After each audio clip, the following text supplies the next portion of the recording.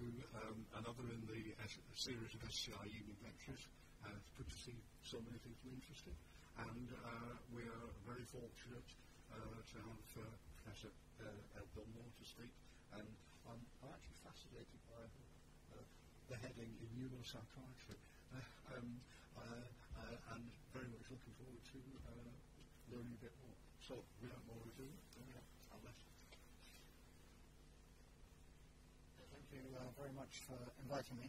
And um, uh, I've got a slightly clunky title there, immunopsychiatry, um, but that is really the gist of the whole talk, is how psychiatry relates to immunology, or how uh, psychological processes in the brain might be influenced by what's going on in the immune system. That's really the key idea. And um, I think it's important as a way of thinking about treatment, treatment particularly new treatments for mental health disorders. Um, now, before I go on, I'll just sort of tell you um, where I'm coming from in terms of remuneration, compensation, and so on. So you can see I work half-time for GSK, and some of what I'm saying is of interest to GSK, but there are no uh, great commercial secrets uh, at stake. So why is it worth thinking about mental health disorders, and why is it um, maybe time to think hard about how we treat them and whether we could do a better job of treating mental health disorders? And you don't have to look back very far in time uh, to come across pictures like the one on the top left. That was, you know, less than 100 years ago, patients uh, being essentially incarcerated, uh, restrained in the name of treatment, which now looks quite inhumane and ineffective. And um, you know, even today, there are still many, many examples of people with mental health disorders that are not really being treated very well. Um, you know, we walk past people on the streets, uh, many of whom have mental illness, um, and they're only there because there isn't a very good treatment uh, for their disorders. So we've moved a bit in psychiatry. I would say there's been some progress, but we are very, very far still, in my opinion, from a complete, a completely effective way of thinking about these problems and of, of treating them in the most effective way. And one of the things that we do with mental illness is we kind of sort of segregate it in our minds. We push it away. Uh, the patients are in asylums which are on the edge of town. They're different from us. They're some, somewhat alien, almost. Uh, but in fact, of course, the reality is that mental illness is incredibly common. I mean, it's almost ubiquitous. Pretty much every family has some experience of mental illness. So there's a curious thing in the way we think about these disorders that, in fact, they're more or less universal. Pretty much all of us will have had some experience of a low mood, some experience of anxiety. All, we all know what those symptoms feel like in moderation, and yet we treat them as if it's something kind of out of sight, maybe out of mind. Uh, the graph on the right is just ramming home that point about the common commonness of mental health and uh, disorders and their economic importance. So that is data from the World Health, the, the World Health Organization. And it's difficult to see. I wonder if it's possible just to bring down the lights a little bit, just in front of the screen, so we can see the slides more clearly. But uh, in any case, these these bars represent different causes of disability, of years lived with disability, and the biggest single cause in working age adults, turns out, is depression. Next biggest, alcohol use disorders, then schizophrenia, uh, then anemia, then bipolar disorder, and then you're down to AIDS, for example, uh, coming quite uh, a long way further down the road. So you can see that out of the top five, ten causes of uh, disability in working age adults, four or five of those are disorders of mental health. So it's a massive problem. It's a massively costly problem. And of course, you can think about the costs in personal terms, in terms of disrupted families, in terms of other social costs. Here I've just put the economic costs because they're easy to quantify. and they're startlingly large. Uh, and you know, we, uh, my eyes certainly washes over these kind of numbers, and I think they're big numbers, and I sort of more or less immediately forget about them. But they are worth concentrating on a little bit. I mean, the, the, the billions of pounds that uh, go in the direction of depression, anxiety, and these are these are not um, the amounts of cost for treatment alone. These are the uh, costs in terms of lost employment, lost opportunity. Hugely expensive. In fact, if you look at the British NHS spend, mental health costs about a quarter of the budget. So it's, it is expensive, but if you remember the previous graph, where you saw that depression was, for example, a more important risk of uh, disability in working age adults compared to heart disease, you can see that maybe the spend is a bit out of, out of kilter with the demand. In fact, although mental health is such an important area of, of disability, it's rather a low priority for spending. Mental health struggles for parity of esteem. There was quite a bit of talk in the election about, least there was from the Lib Dems, about uh, trying to reposition mental health so that it had parity of esteem, parity of resource in the NHS. But the reality is at the moment that it gets relatively underfunded compared to the level of disability it causes. It's all a bit mournful at this stage, I think, isn't it? When you think about the disability, the costs, the lack of investment, and I'm afraid it gets a little bit worse because if you think about where new treatments are going to come from, the most obvious place to look is the pharmaceutical industry. And if you look at what the pharmaceutical industry is investing in now, in other words, where it's putting its R&D money now in the hope of generating new treatments in the future, it isn't psychiatry. So if you compare this pie chart on the left to the one on the right, that's the 2008 spend by industry worldwide, broken out by different uh, types of disease. Psychiatry, as you can see, is the yellow slice, 10.5 uh, billion uh, in 2008 down to 6.7 in uh, 2013. Um, uh, the overall R&D spend going down a bit, but it's disproportionately reduced in psychiatry, and it's not true that every disease area is showing a reduced level of R&D investment. For example, immunology, which is the one third down from the left, uh, third down from the top on the left uh, column, you can see that's gone from 7.3 billion 2008 to 11.5. So even as the, the investment in psychiatry is shrinking, other areas, particularly immunology, are seeing more investment going there. Now, why is that and what does it tell us?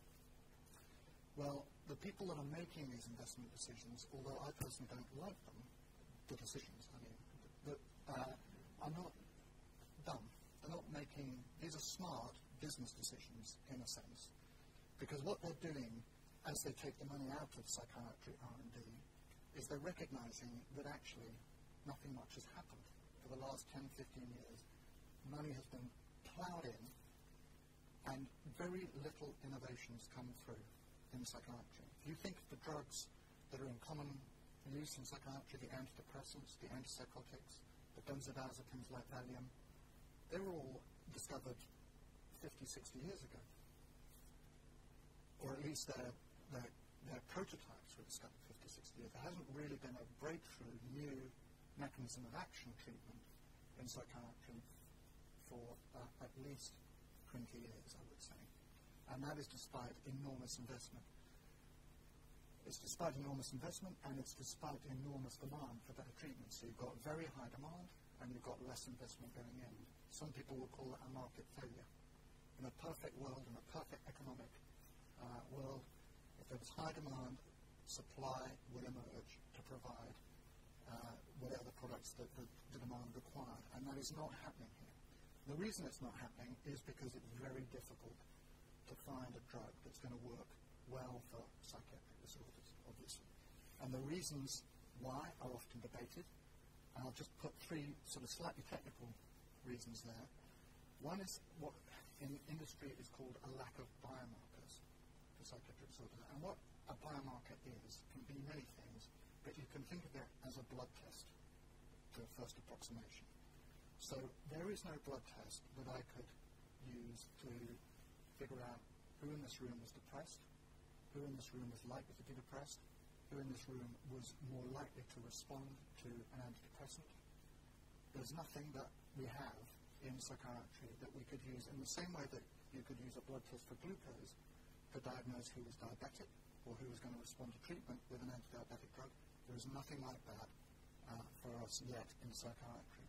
And that's a big problem because if you think about the numbers of patients uh, that are depressed or anxious or suffering from Alzheimer's disease, those are m- millions of people, and it's quite unlikely that one drug, uh, however ingeniously designed, is going to represent the ideal treatment for all of the patients. So we need to be using biomarkers really to pick out the groups of patients that are most likely to respond.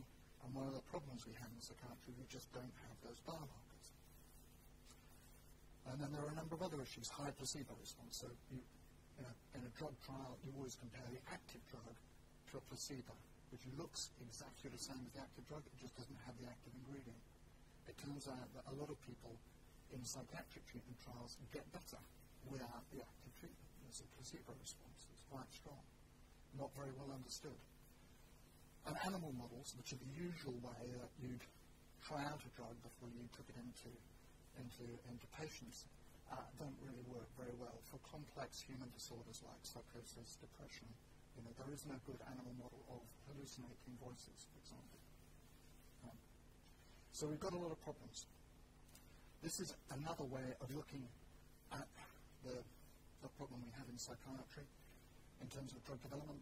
I'm sure people in this room will be familiar, or some of you will be familiar with this familiar uh, chart of the drug development uh, process. So we, it starts uh, in at least uh, 10, 15 years upstream of anybody actually you know, prescribing, it, prescribing the drug in real life uh, 10, 15 years before that happens, uh, out of about 10,000 molecules, uh, a gradual process of selection will go on as the molecules are tested in various different ways, including in animals.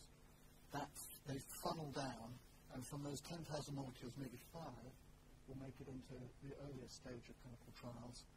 And if you're very lucky, maybe one will get all the way through and have a, a, a license approved, in this case by the FDA, which is the American uh, regulatory agency. So that is an incredibly long and a difficult path, and it gets more and more expensive um, to run these trials as we move in this direction. Um, now, the special challenge that we have in psychiatry is that the way that drugs are designed and tested in this stage here is quite biological. So, for example, you'll take nerve cells here and you'll put the drug on the nerve cells and you'll see something about what that drug does to their electrical activity.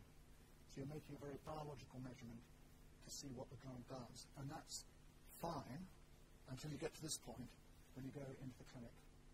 Because when you start looking at patients with depression or anxiety, the biology really begins to sort of fall away a bit. We don't have in these diagnostic manuals, which are produced at regular intervals. And you might have read about DSM-5 coming out last year, which kind of seemed to invent a whole new lot of psychiatric disorders that hadn't previously existed. Those diagnostic manuals don't have any biology in them. There's nothing in there about a blood test, a brain scan, a genetic test. It's all about symptoms. Do you have this particular list of symptoms or some other list of symptoms? And according to that categorization, you'll end up with a different diagnosis. So some of you may be able to see that there is a kind of special problem here, that we start in the realm of biology, we get a drug moving along, it goes into the clinic, and suddenly we're expecting it to do something that doesn't really have a very good biological sort of explanation. And that's why, or one of the reasons why, in my opinion, so many drugs fail and industry has pulled out to the extent that it has. Now, you might think, you know, what can we do about this? And one sort of way I've begun to think about what we can do is to look around at the other areas of medicine. So not just psychiatry, for a moment. Just think about other areas of medicine. How are they doing? Have they managed to make more progress therapeutically than we have in psychiatry? And if so, why? And if you look at what's gone on over the last 20, 30 years, um, there has been some spectacular progress. So, for example, multiple sclerosis, which when I was at uh, you know, medical school back in the 1980s, multiple sclerosis was a horrible diagnosis. There was absolutely nothing really that could be done about it. It was more or less a certain, um, uh, well, it wasn't a certain uh, diagnosis in terms of deterioration, but that was what people feared, and there was very little that could be done uh, to prevent people getting progressively worse. That is a much, there are many better options now for treatment of multiple sclerosis than there used to be. There are also better options for some patients with breast cancer and other cancers. And you may have heard about some of these extremely expensive drugs that are kind of controversially available or not available, depending on where you live in the country and so on. Many of those drugs work only for subgroups of patients. So there are certain drugs for breast cancer that will only work if your biopsy taken from the breast cancer shows that you've got a particular genetic expression profile in the tumor. Okay? That's a very nice example of using a biomarker, which in this case is a biopsy, uh, to predict the response to treatment. And then you've got this concept of personalized medicine, using tar- targeting the drug so that it uh, is only given to the kind of patients that are going to most uh, respond to it. And these and other examples, a lot of them have been driven by the kind of power of molecular biology, which goes back again to the genome, I guess originally, and DNA. That has begun to come through and combines with antibody technology, other protein technologies. We have an incredible power to create new molecules that can uh, work in some of these areas. But the thing I think that they, a lot of them have in common is that the drugs that work for multiple sclerosis, many of the drugs that are working for cancer, they are actually working on the immune system. In fact, if you, if you try to sort of organize the sort of disciplines of medicine, if you will, on a timeline, and you say, right, here we are in 2015, what is absolutely cutting edge is probably immunology and biopharmacology.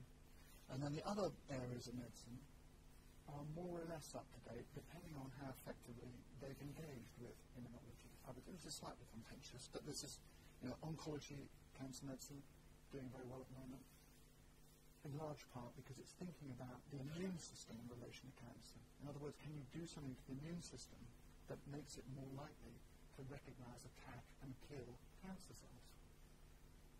That, that's a therapeutic approach that's turned out to be quite effective. Neurology, multiple sclerosis, the big win there is realizing that multiple sclerosis is an autoimmune disorder. It's a disorder in which the immune system attacks the body as if it was an infectious agent, as if it was another another organism altogether. Metabolic and cardiovascular disease. I mean, when I was at uh, med school, again, you know, immunology had nothing to do with cardiovascular disease. That was all to do with cholesterol, blood pressure, smoking. Now it turns out atherosclerosis is a kind of inflammation. You know, those plaques in the, in the of the blood arteries, they are, in, they are local uh, inflammation. And uh, a lot of anti-inflammatory drugs are being developed for, for those sort of disorders. And then you've got psychiatry, which I would say uh, is at the back of the pack at the moment. In fact, you could probably quite safely uh, go into psychiatric practice knowing only the contents of a textbook published in 1990. There's not much between 1990 and 2015 that would embarrass you if you were practicing psychiatry, knowing only what was known back then. So we are at the back of the pack, and maybe one of the reasons why other areas are kind of getting ahead and making more therapeutic progress is because they've been a bit smarter about using the immune system therapeutically. So, of course, one wonders, well, is, there a, is it possible to use immune approaches to think about psychiatric disorders? But then traditionally you've got this problem that really the immune system's got nothing to do with the mind. The immune system, as represented by this headless torso that I found quite easily on, on Google, you know, the immune system is, many, is in many different places. So it's in the bone marrow, it's in the spleen, it's in the thymus gland, which is sitting just, just around here behind the sternum, uh, and it's in the lymph nodes scattered throughout the body. Uh, and these are, the, these are the organs of the immune system that make the immune cells. This is a, an immune cell here, this white, white blood cell circulating in the blood comes from um, the bone marrow originally and then uh, via these other, uh, these other organs.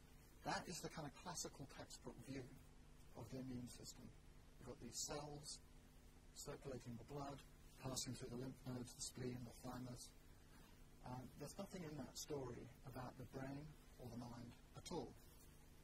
So uh, until, you know, about 10 years ago, to say that you were interested in uh, immunopsychiatry, to go back to the first slide, you, would have been asking people to think you're a bit crazy because how could that possibly work, right? I mean, how could the immune system, which you can illustrate with a picture that doesn't have a head on it, how could that possibly have anything to do with psychiatry. Uh, and uh, you know, this is where I think the story becomes exciting, or at least I find it scientifically exciting, because actually uh, a lot has changed um, in terms of the sort of underlying science. I think about it as the, this is one example of the change that I'm, I'm talking about. I, I, think about it as sort of like the Berlin Wall falling. And what do I mean by that? Well, again, when I was um, at medical school, we were taught, which is true, that the brain gets a lot of blood. The blood supply of the brain is incredibly rich. The brain, the brain is a very hungry organ metabolically. It has a very rich blood supply, which you can see as those little red vessels going in amongst all the green coloured neurons.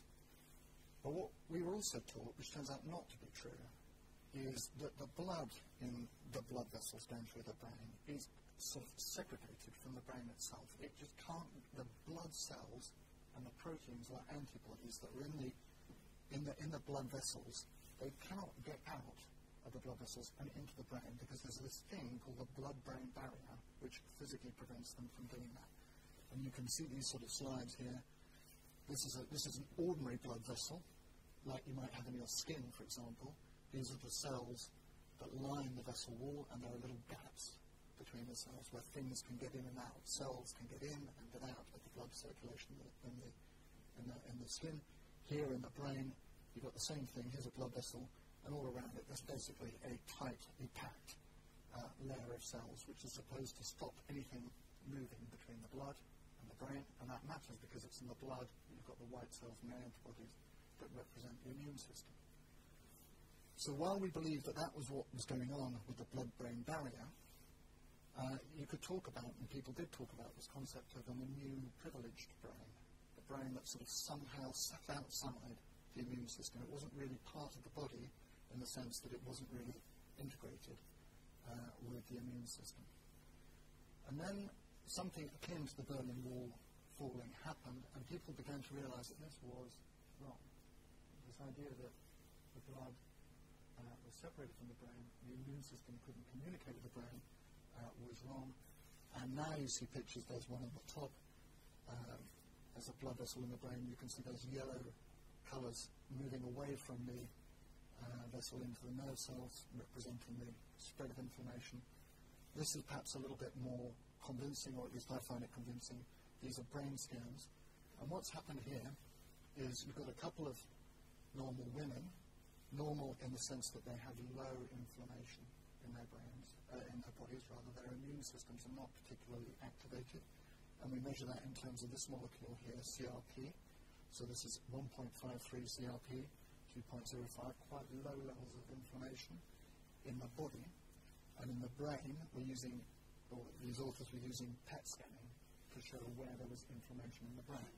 And you can see low inflammation in the body, low inflammation in the brain. Whereas up here, these two I've got CRP 11.79 and CRP 15.73, so their peripheral immune system is more activated, their bodies are more inflamed, and you can see from the PET scan that there's more uh, activity of immune cells in the brain as well.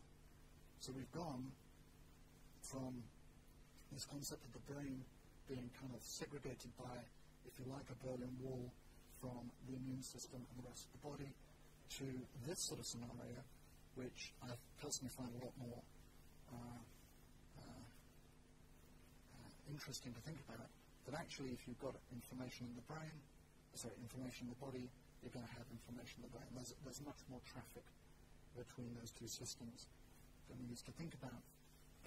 and indeed, you can dig deeper into this and discover some surprising, uh, surprising commonalities, if you will, some surprising similarities between the immune system and the nervous system.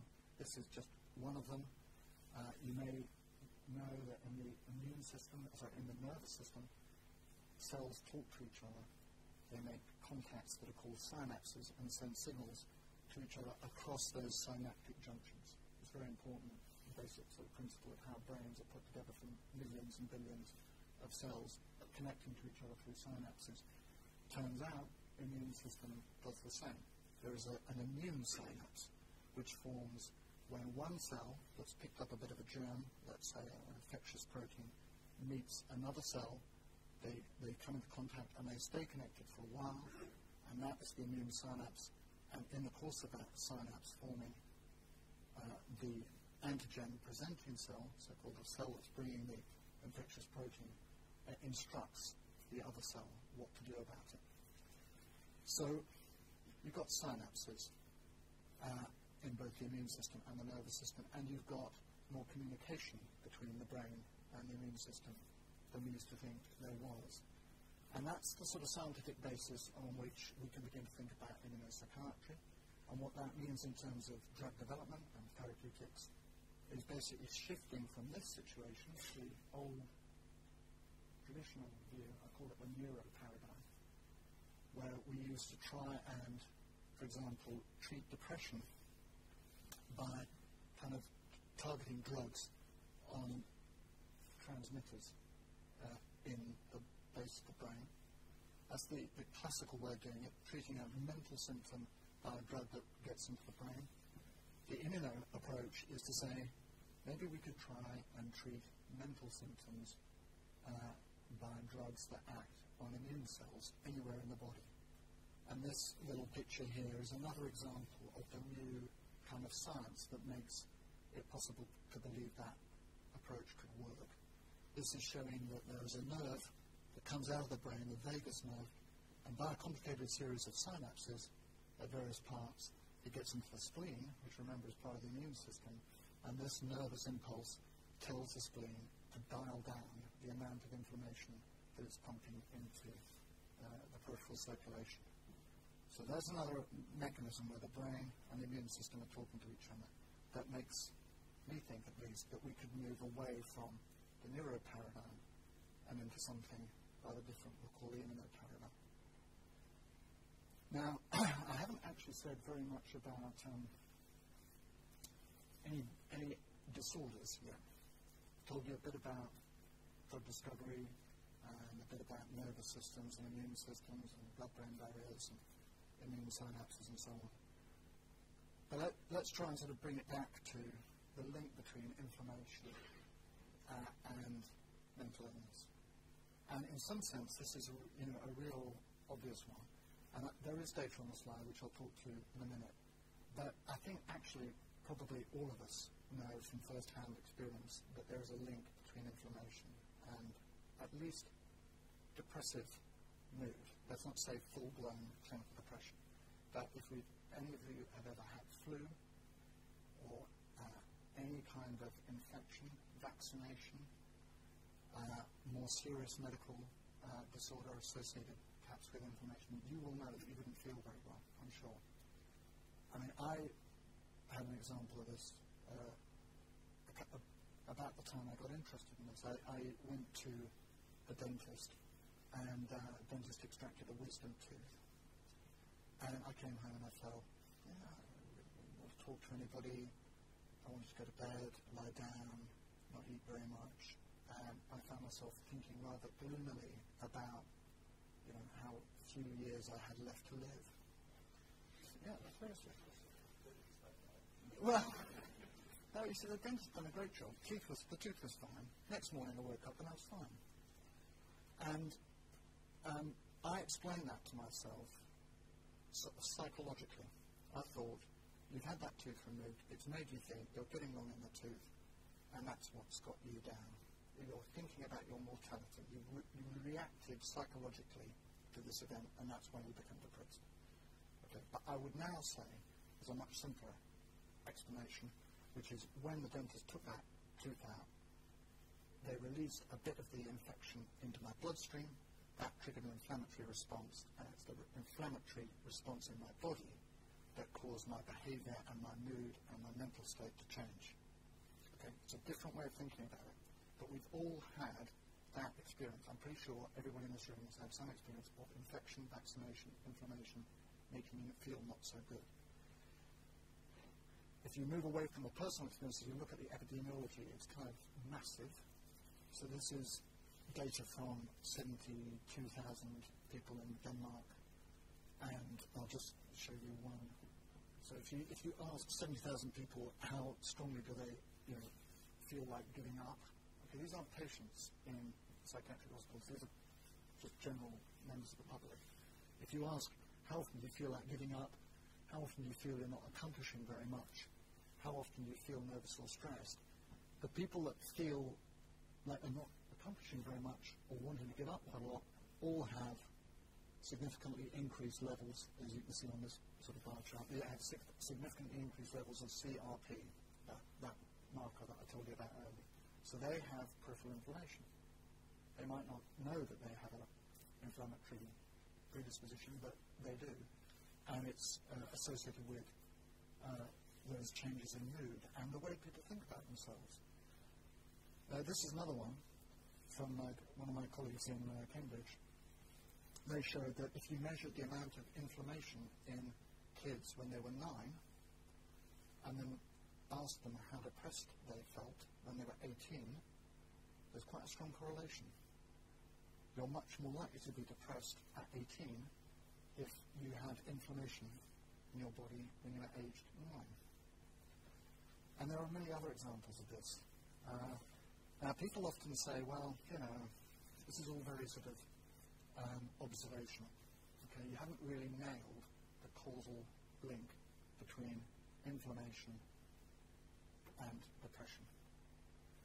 Uh, but there are a couple of examples where it has been possible to do that, and this is a little bit of a busy slide. But basically, what this is all about is showing that there are some situations in medicine where we deliberately make patients more inflamed. We deliberately get their immune systems revved up. And one of those situations is hepatitis. If you've got hepatitis, one of the treatments that has been proven to be effective is a drug called interferon. And the way interferon works is it gets into the body and it basically revs up the immune system so your, your immune cells are more vicious and successful in attacking a virus that causes hepatitis. Okay? The problem is that as you pump up the immune system with this interferon treatment, quite a lot of people become depressed. Not everybody, but about a third of patients over the course of six weeks become depressed.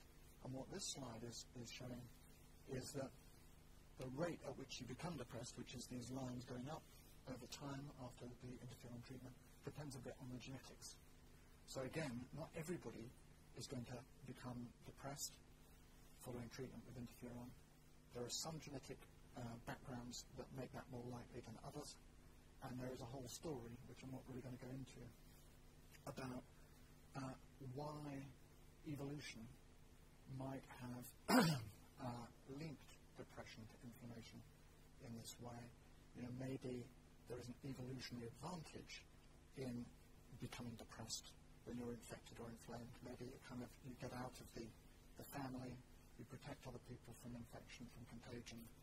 Uh, there is a there is an evolutionary argument, and some of these genes that seem to predispose uh, to people that, that make people depressed uh, when they become more inflamed. They may, in a, dist- in a different era, uh, have had an advantage uh, to people carrying those genes. They may have made them more successful in resisting infections, which, of course, were a lot more common and problematic for us you know, 100, 200 years ago uh, than they are now. So um, we know that inflammation can definitely cause depression. We also know that if you cause depression by vaccination, is another very common cause. I don't know if people have had typhoid vaccination or other vaccinations. It often makes people feel uh, unwell, fatigued, and depressed. Uh, and these data are showing here that you know you give you give people the vaccine, four hours later, boom, IL-6 is shot up. IL-6 is like CRP. It's another measure in the blood of inflammation. So they become inflamed and they become fatigued. And if you look in the brain using MRI, you can see that that inflammation is associated with changes in brain structure. And those changes in brain structure are correlated with the fatigue. Okay, so this is a little experiment where normal individuals have been vaccinated. That's caused inflammation, fatigue, changes in the brain, uh, all related to each other. So you can begin to see how a kind of fairly coherent story is emerging for depression. For Alzheimer's disease, there is also an inflammatory angle. It's a different kind of story, because in Alzheimer's disease, um, there is more insight, I would say, into the genetics. So more risk genes have been identified for Alzheimer's than they have for depression. And that always gives us a good starting place to think, well, what's really going on? And recently people have begun to realize that the, some of those risk genes for Alzheimer's are in fact coding proteins that are normally important in the inflammatory response, particularly complement-related genes. And these inflammatory proteins, in fact, exist in high concentration. And you can show, I don't know if you're familiar in Alzheimer's, this is, if this is, this is a slide, a microscope slide through the brain of a patient with Alzheimer's. And the main things that have been known for about 100 years are that you can see these nerve cells, which of course are normal, but you can also see these things called plaques, which are deposits of abnormal protein, and tangles, which are sort of um, collections of um, helical proteins. So you've got these abnormal proteins deposited in the brain of Alzheimer's, and we've known that for a long, long time.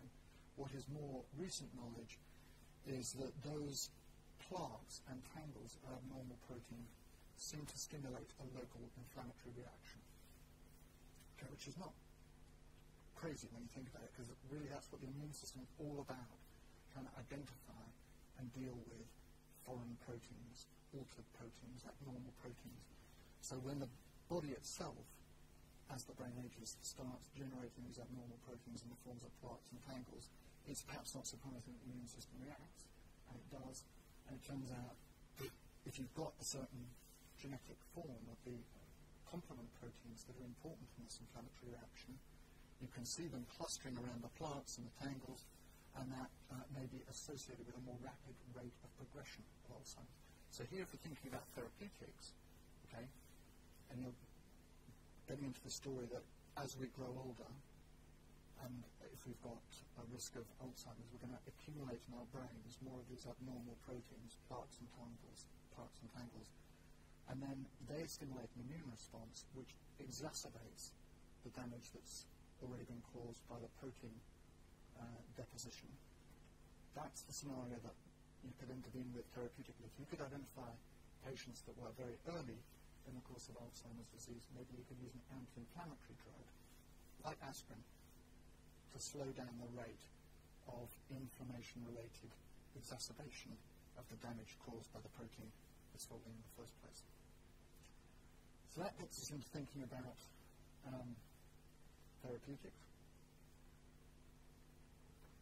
And as soon as we start thinking about therapeutics, I just have to say again that without biomarkers, we will fail.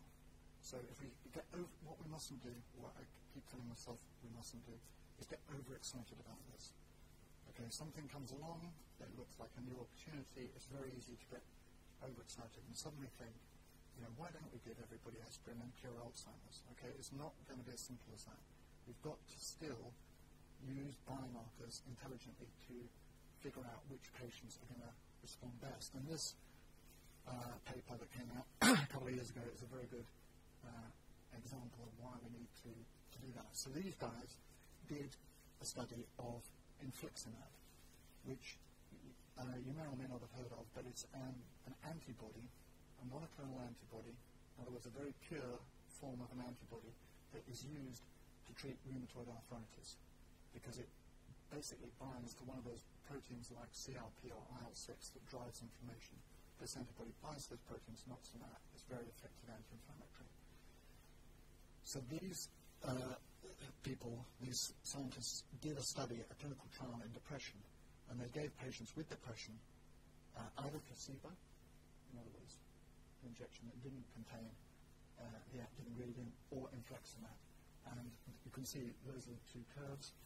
These are the depression scores on the, on the vertical axis. This is the time following treatment everybody gets better. There is no, there is no treatment effect. In other words, the drug didn't work, the trial was a failure. Big disappointment if you're hoping that anti-inflammatory treatments might provide a new way of treating depression.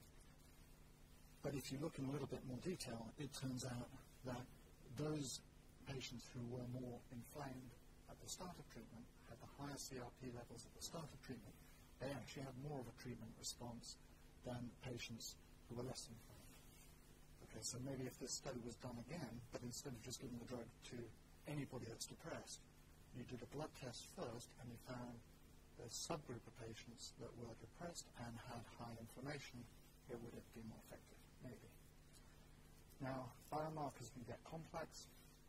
This I'm not going to dwell on, but it's just to say that if you take just 10 mils of blood, it's amazing absolutely amazing what you can measure in 10 mils of blood now. Uh, you can measure, for example, at least 100 different cell types. And, uh, you know, it's not just white red cells, sorry, white cells and red cells, or even B cells and T cells. I don't know if there's no, I mean, when I was learning immunology, it was like, there were like two or three different classes of white cells. There are hundreds and they can all be measured. And if we, we did a, a recent study in schizophrenia, looking at the pattern of abnormal cell counts in something like 70 different cells. And this figure just shows that there is abnormality. Some of those cell counts are reduced, some are a little bit increased in many different classes of cell. It's, com- it's complex. Okay? So that's the other caveat, is immunology is great, it's also very complex. So is the brain.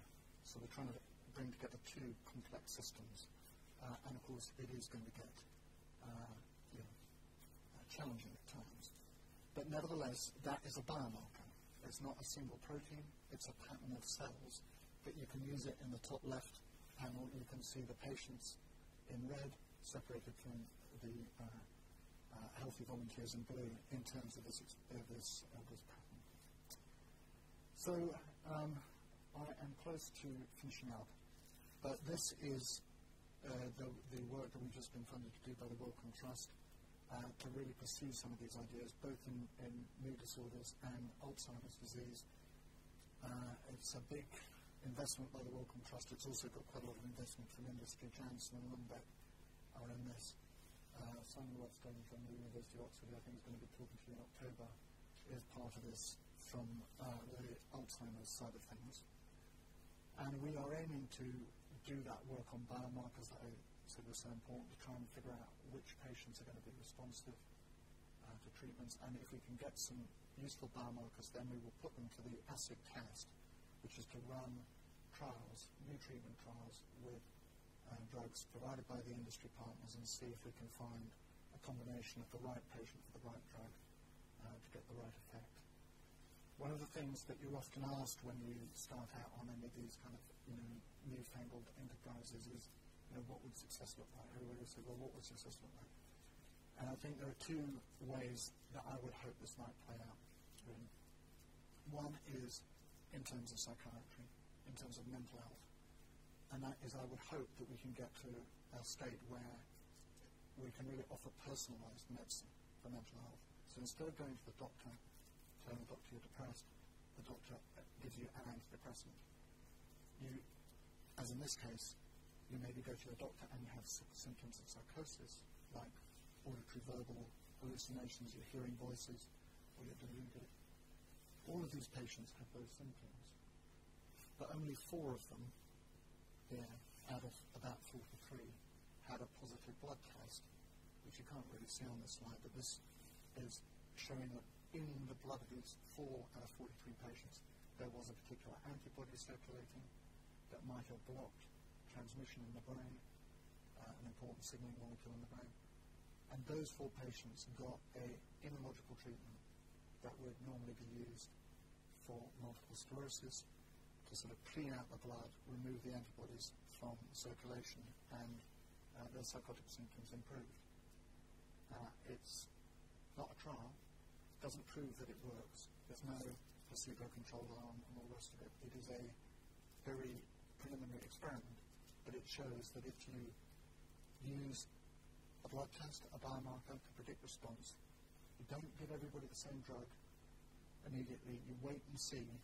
Uh, out of those 43 patients, are there four that have something different about them that would justify a different kind of treatment, and then use the treatment? That can be a lot more effective. So that's what I mean by personalized medicine for mental health.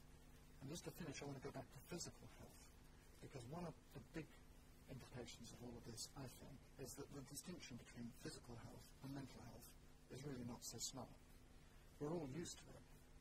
And I put this little cartoon up because uh, it, it reminds me of one of the experiences I had when I was in medical training.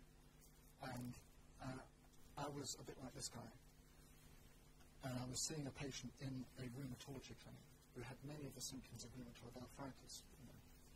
And I was talking to the patient, and I realized that actually she was also very depressed. In fact, she had all the, all the classical symptoms of depression.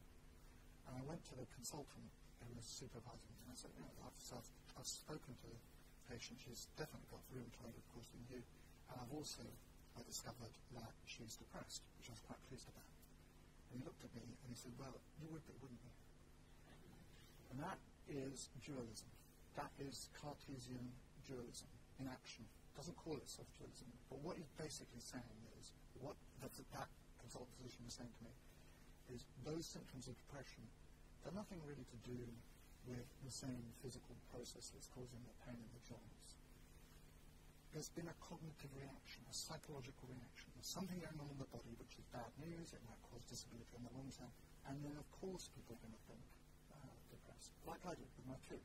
Right? I didn't immediately think that the reason I was feeling gloomy after my tooth extraction was because of inflammatory processes in the body. I thought it was because uh, I was thinking about my mortality. So this is a cartoon. Here's a, here's a patient they've got painful knees and they're feeling depressed. They go to see a doctor, and the usual thing the doctor would say is rather complicated actually when you write it down. I think you feel depressed because your knee is painful, because you have rheumatoid arthritis. That's a very understandable reaction. And I think the patient might be wondering, well, what does that really mean? What is he saying? Is it my fault? Uh, so success for immunopsychiatry would not just mean personalised medicine for mental health, I think, but perhaps a more holistic approach. To physical health, we might be having the same scenario in a few years' time, and the physician now recognizing that the mood state and the pain in the knee are part of the same process and could be open to the same kind of treatment. So that is um, all that I wanted to say, and I've put a few rather wordy conclusions, but the key thing is we might do better uh, thinking about mental illness if we opened up to the fact that the brain and the body are talking to each other all the time through the immune system that's a constant ongoing interaction, and it probably has implications for disorders. It could have implications for treatment. It might allow us to develop some relatively simple biomarkers to diagnose the causes of, of, of mental health disorders and predict who's going to respond better. And that's, I think, quite a radical strategy for drug discovery in psychiatry. It might not work. You know, most new things don't work. Uh, but if it did, uh, it would be terrific. Um, and uh, I think I'll leave it there and I'll look forward to your questions. Thanks very much.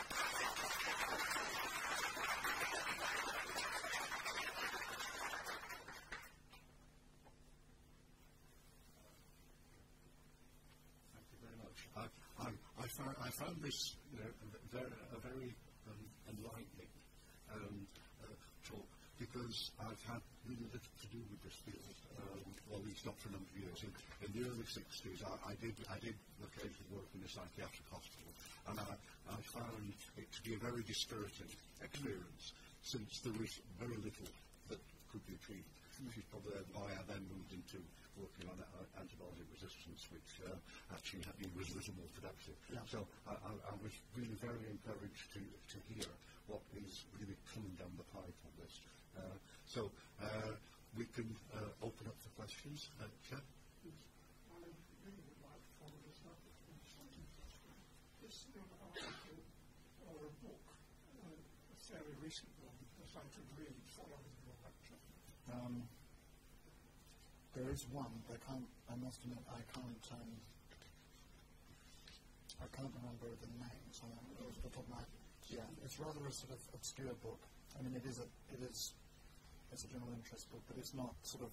It's not out there. Um, it, I will. I will. Mm. Mm. Mm. Yeah, we don't. We don't meet physically for obvious reasons, and, uh, but we do spend a lot of time on the phone. And uh, and you know, Janssen is mainly in the States, and Lundbeck is mainly in Denmark. So I think the interaction is important, and you know, people always say, and it's true that a lot of the innovation in science does come from the interaction between different fields. And this is perhaps an example where you've got neuroscience and immunology, which are coming together and new ideas coming out. It's also risky. You know, I mean, you know, innovation is risk really, and, and working in an interdisciplinary um, way is, is not mainstream drug development. So I think I think one reason that it's attracted, you know, these these kind of consortia arrangements work well for the big companies is because they can each expose themselves to the science and the new ideas without holding hold, holding all the risk. Lydia at the back. Sorry. not so well, whether um, they are suffering some, some kind of inflammation or some kind of uh, problems in the body, which have set off this uh, the process of um, making them mentally ill. Yes. Well, I think that does follow. I don't think it follows for every. I think you, you know. I think you've got to. Be, we- we have to be careful not to kind of overgeneralize. Okay. But I suspect that for a significant percentage of patients with depression, for example, that that depression is quite tightly linked to inflammation, and sometimes you know, that, that isn't going to be um, the fact that inflammation is, exists in the body is not going to be a great surprise. I mean, the patient might have, for example, um, rheumatoid arthritis is a good example of of a, a fairly common disorder that's associated with quite a lot of inflammation and quite a lot of depression. And, uh, you know, if you treat the inflammation effectively in rheumatoid arthritis, uh, it has a remarkable antidepressant effect. This is one of the sort of uh, surprises of modern medicine. You know, these new drugs, these anti-TNF antibodies, infliximab, that I was talking about earlier, that came in to treat rheumatoid primarily. Uh, there is a, uh, everybody that's had experience with that will tell you that often patients who were quite gloomy and quite depressed before they got this treatment for their arthritis become more lively, more engaged, more optimistic almost immediately. So that's another sort of kind of example of um, depression going with inflammation and apparently respond to anti-inflammatory treatment in quite, that's quite familiar in medical practice. And not everybody who's depressed is going to be inflamed. I think that would be uh, you know, asking for trouble to make that kind of generalization. But I think it might be true of a significant percentage. And then, you know, there are other disorders, psychosis I mentioned, schizophrenia. There seem to be abnormalities of the immune system there as well. Um, that, that example I gave you of auto-antibody psychosis where uh, the patients were treated, uh, that's probably about 4% of, of, of uh, first episode psychosis. So patients presenting to psychiatric services with their first episode of delusions, hallucinations, about 4 or 5% of those turn out to have that antibody and could potentially be treated uh, immunologically. So I think, yes, you're right. It is an implication of what I've said. It's exactly what you put it. Uh, but it won't necessarily be true for all patients. It could just be a significant uh, minority.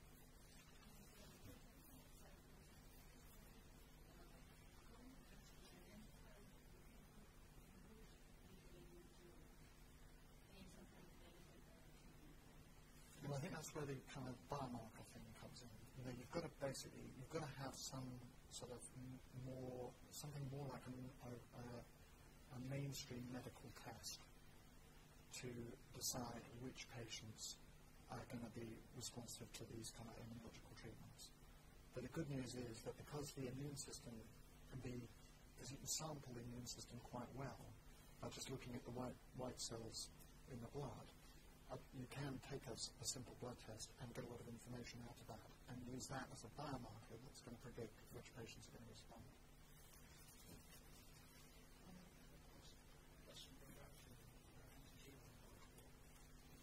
anti-TNF drug for uh, um, uh, rheumatoid arthritis. Yeah.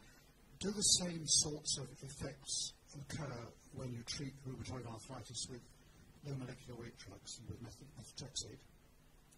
Um, they, well, the first, the first thing I don't know that there's very good data on that because one of the curious sort of um, issues from the dualist way of thinking about these things is that if you look in the if you look in the kind of rheumatological literature, there's very little about mental symptoms or mental health uh, at all. And if you look at the trials, and we have gone back and looked at some trials, not just of antibodies, but also small molecules for rheumatoid arthritis, the way in which depression has been measured in these trials is, is, is rather limited. So you might have just a very simple questionnaire once a baseline, and then again three or four months later. There's a limit to what you can get out of those data. But given the number of people who've got rheumatoid arthritis, it, it seems to me it would be sensible to do some sort of survey to see whether you're dealing with an effect of a high molecular weight drug like, like the monoclonal antibodies, or whether the low molecular weight ones would be equally effective. Yes. I personally, I wouldn't expect it to be restricted to the antibodies. I would, I would expect that anti-inflammatory mechanisms, whether they were engaged in a small or large molecules, would be equally effective. And one of the ways that we are trying to get at that question is actually through uh, use of NHS clinical records. So, you know, there are ways, in, without breaching confidentiality, there are ways of looking at uh, electronic records on um, hundreds of thousands of patients. Uh, and one of the things we hope to do in that way is, is see if we can pick up a pattern that links depression to different types of anti-inflammatory drugs, whether they're small or large. A quick one for you. Is there any um, evidence for a link between localization of CRP and IL-6 to areas of the brain that are involved in depression? Or is it more, or is it more, more spread? Um, Really looking for, you know, Yes. for your case would be localization. Yes, it would. Well, yes. So we don't have very good um, imaging markers of those specific molecules. So the, the you know the picture I showed with the brain scan and the CRP, the brain scan wasn't actually a measure of CRP. It was a it was a measure of well, actually it was a measure of microglial activation, microglia in the, in the brain, are kind of the local immune cells. So the scan was telling me that when you had a high CRP in the periphery, your immune cells in the brain were kind of activated, but it didn't actually show you where the CRP or IL-6 in the brain was localized. Just, for- just for layman, the CRP is complement reactive protein. Uh, C-reactive protein. You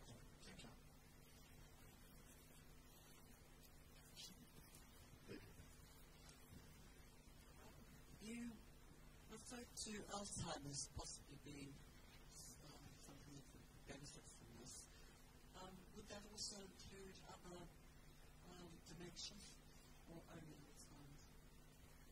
Um, well, it, it looks like the evidence is strongest for Alzheimer's at the moment, but um, a lot of, you know, a lot of uh, dementias involve um, formation of abnormal proteins and might therefore trigger um, immune reaction. I mean, if you think about what happens in uh, a dementia or a neurodegenerative process, you are losing losing cells.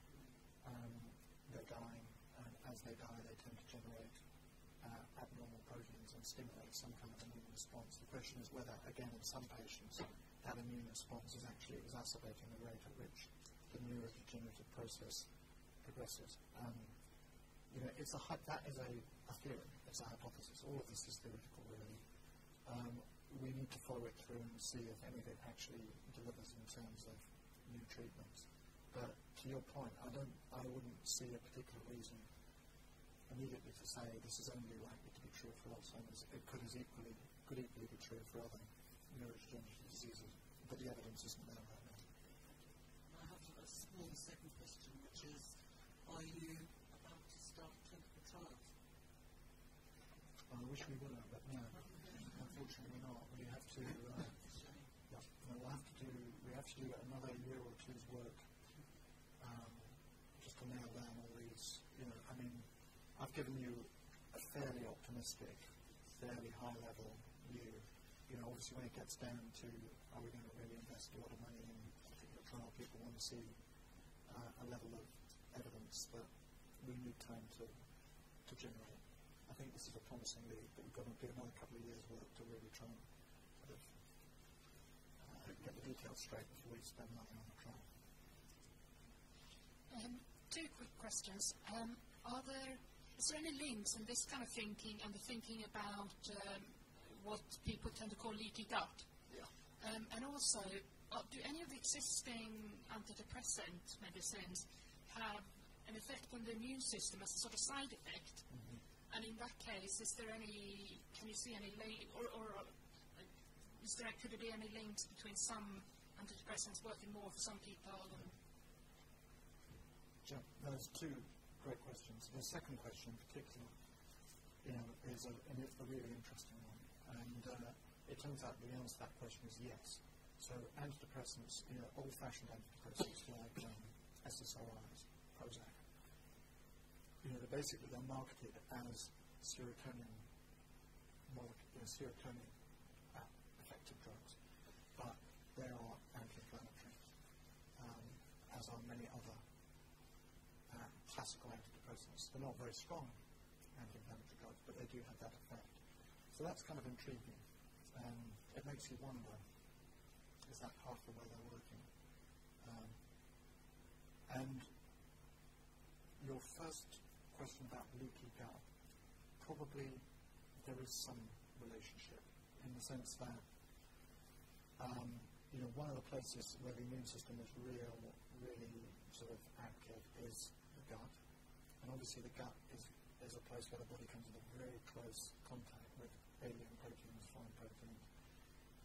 And if there was some disturbance of that interface, you can see how that could trigger immune responses, which might in turn have uh, mental effects. So I can see that that could all exist. I, I personally slightly have to sort of shelve it in my mind because I think once you start talking about the microbiome and the immune system and the nervous system and mental states, there's just too many, too many, you know, you've suddenly got a four-body problem and each of those bodies is extremely complex in its own right. So you could, there could well be a connection, but I think it's, uh, I like to try, try if possible to keep things a little bit simpler than that in the first instance. Uh, the gentleman there. Thank you. Um, two uh, questions. One is, um, how do you see the role of immunomodulating diets in treating patients? Diets. Diets. Yeah. And the other one is, um, how do you see the how epigenetic mechanisms might be how the nervous system and the immune system communicate? Well, epigenetics, I can say I don't know. I just don't know. Again, it's a little bit like what I said in relation to the microbiome. I mean, I can, I can imagine there could be an epigenetic angle on all of this, but it's just another level, you know, it's another dimension, it's another level of complexity. And, and actually, you know, the, the, even if you just the sort of nervous system, immune system um, interaction, that, without taking into account genetics, epigenetics, is complex enough. So I think it could it could be something to watch, um, but it's not something that we're looking at hard at the moment. Not because we don't think it's interesting, but it just doesn't seem like it's the kind of obvious next uh, problem. In terms of diet, I think what that I don't you know I don't again I don't know, you know, there's not, there's not enough sort of what I would call uh, properly controlled trial data to get that question. But I think what it does speak to is that although I've talked all, you know, a lot about pharmacology and drugs and all the rest of it, there are many other ways that you can, you know, the immune system can be modulated. Uh, you know, exercise has an effect on the immune system, diet has effects on the immune system. Um, people have reported with you know, me- meditation having effects on the immune system. So there are potentially other avenues besides pharmacological treatment that you could use therapeutically to have an effect on uh, mental states by altering the immune system in the first instance. Uh, you know, the immune system is a very powerful part of the response to stress. You know, when, when people are stressed, if you, you know, public speaking for people is extremely stressful. If you do these psy- psychologists sometimes do these you know, rather cruel experiments making people that really don't like public speaking stand up and talk. And one of the things that happens is the levels of CRPA, IL-6 and all those other inflammatory proteins spike in in the circulation under conditions of stress. So I, I think your question does speak to one important point that I, uh, you know, I'm grateful for having the opportunity to clarify, which is that the, the importance of the immune system in relation to the brain and mental states. It doesn't, uh, you know, it's not obligatory on that basis that treatment should be pharmacological. You know, there are other forms of treatment, stress reduction methods, for example, that people might be able to use that could have similar consequences by dialing down the amount of inflammatory reaction that stress, for example, often produces. But although that's all conceivable, it's also still all untried. To back to the beginning of your talk, might that be one reason why there's such a large placebo response? Um, That people feel looked after with they It could be. It could be. I mean, you know, the, you know, I think one thing you could say about the placebo response is it's not, um, you know, there is a biological basis to it. I mean, uh, it's not completely understood, but you know, for example, in brain scanning experiments, where you, you know, you give people the placebo and you measure what happens in the brain, you can see that as they feel better, there is change in brain function associated with that. So again, it's not a, it's not one of these kind of purely psychological states. It, it, there is a sort of, there is a, um, a biological reason uh, for placebo response. We just don't, we just don't understand very much about what it is. Um, but it certainly has a reality.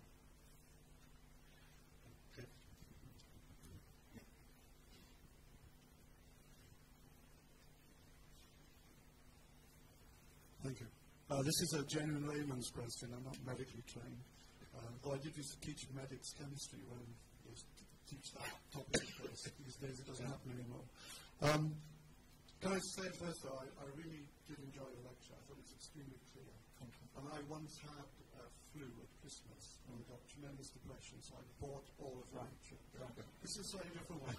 It's about, uh, I once had um, an old rugby injury, which was a terrible back pain uh, and I was uh, prescribed a drug which actually was mainly for anxiety. So does that mean that my GP was years ahead of her time? it was pregabalin, by the way. Yes. Yeah.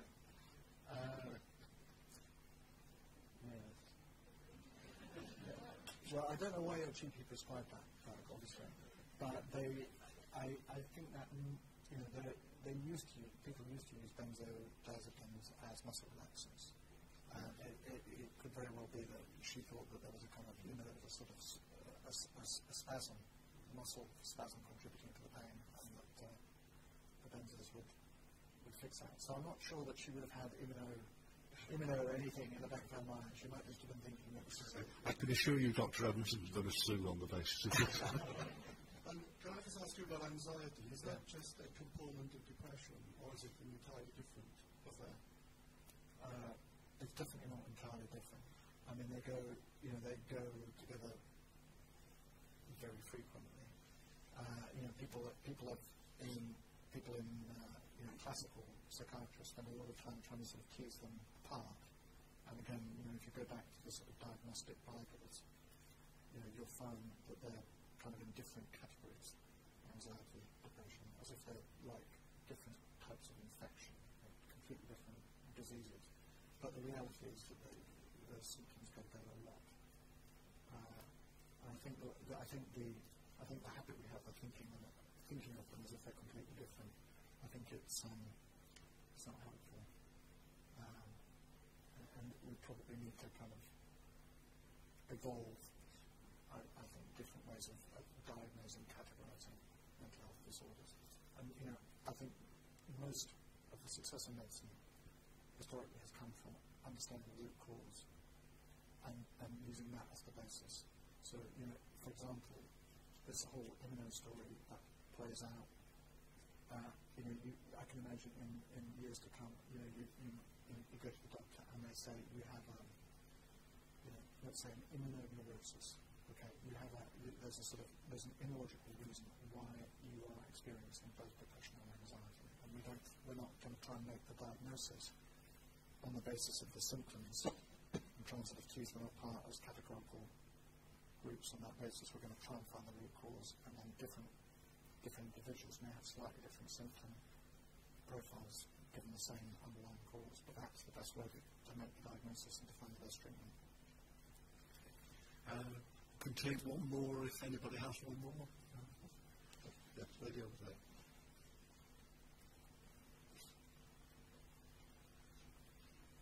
Um, I didn't hear all your talk, so I apologise for that. What I have heard, I've liked. Um, two things. The first thing, and you may have covered this earlier in your talk, do you think that these kind of um, new approaches, the kind of more cognitive approaches like mindfulness and mentalisation and visualisation can help? And then, as you were talking, I had this really, really weird idea of something that we could possibly do. You know, like, for example, when you've got um, certain antidotes, they actually inject the actual thing that you're supposed to be reacting against. And I wondered, for example, if people are able to kind of um, control or um, at least suppress um, their anxiety or their depression or use um, their kind of um, reduce like their cortisols and things like that. Do you think you could kind of like bottle it and then inject it in a person so they could kind of increase that kind of I don't know if that does that make sense to you? You know when you go for a cold and inject something of the cold in you, I wondered if you could kind of bottle whatever the person's able to manage to kind of manage their I don't know. Yes, yes, no, yeah, I, well, I don't, you know, could you bottle it and inject it? Well, not, obviously not really, but, uh, because, uh, you know, for, for lots of reasons. But I think if you could, if you could figure out, it's like I was saying earlier, I mean, you know, the relationship between stress and inflammation is very strong. Yeah, and so if you could, if you could understand more exactly why some people, when they're stressed, don't become inflamed, then if you could understand that, then you probably have an interesting lead in terms of developing a new treatment. I don't, I don't think you would exactly bottle it, but if you could, if you didn't know, but yeah, but if you could, if you could work out what, how, what the mechanism was by which some people were more, you know, that, that had immune systems that were more resilient to stress, uh, that, that could be uh, interesting. Um, I forgot what your first question was. Mentalization. Well, you know, I, I, don't, I don't know. Is- Again, I'm sorry to keep saying that, but I mean, there just haven't been the, um, you know, the studies just haven't been done. Um, in terms of, you know, linking mental states to uh, psychological uh, interventions, whether it's cognitive behavioral therapy, mentalization, whatever, it's really more or less completely a greenfield site at the moment. Uh, First of all, thank you. Uh, uh, I think you can, can tell from the questions that uh, you've uh, really uh, got the audience uh, interested and to, to, to grips with this, and uh, we're, we're all very appreciative. Can I uh, just, sure you have a massive collection.